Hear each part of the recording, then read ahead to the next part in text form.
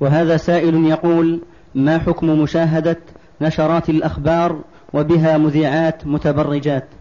اللي فيه فتنة لا تشاهده. الأخبار تجيك في, في الراديو بدون صورة وبدون شيء وبدون فتنة. نعم.